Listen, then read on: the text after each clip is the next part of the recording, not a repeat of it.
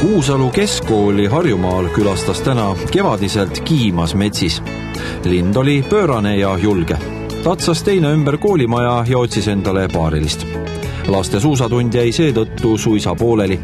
lõpuks võttis uhke metsalind koha sisse katusel ja jälgis koolirahva tegemisi huviga pealt. meeldis lind või?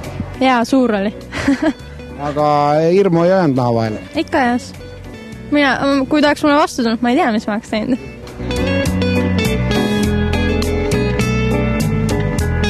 õpetajad pidasid targemaks spetsialistid kohale kutsuda, sest mine sa tea, ehk juhtub tiirane suleline isegi lapsi ründama. kohalikud jahimehed reageerisid ruttu ja ronisid metsisele katusele järele. kuidas kogu lugu lõppes, saate näha juba homses Reporteri saates